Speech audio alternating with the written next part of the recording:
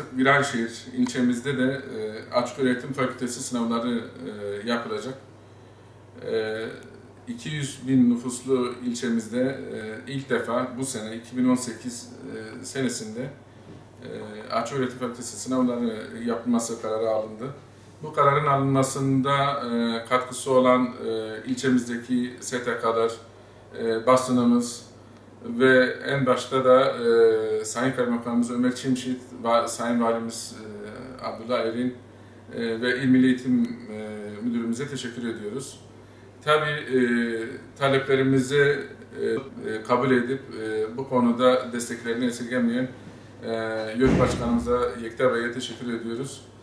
E, artık ilçemizdeki e, öğrencilerimiz, ikinci üniversiteyi okuyan memurlarımız, öğretmenlerimiz e, sabah e, kahvaltılarını yapıp sınav, sınavı kendi ilçelerine e, sınava gire, girmiş olacaklar. E, Urfa'ya gidiş geliş e, 90 kilometreyi her gün e, gidiş gelişleri e, olmayacak. Yakın ilçeleri, ilçelerimiz özellikle Ceylanpınar, Derik, e, Mardin'in yakın ilçeleri de ilçemizde sınava girmiş olacaklar. İlk defa bu sene e, ÖSYM sınavları da ilçemizde yapıldı.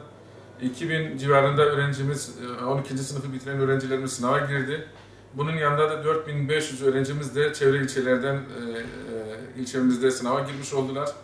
Ve sınavımız e, sağlıklı bir şekilde, güven, güvenli bir şekilde yapılmış oldu.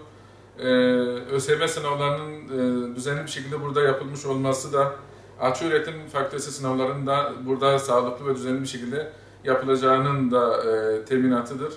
E, bu konuda tekrar e, katkısı olan herkese teşekkür ediyorum.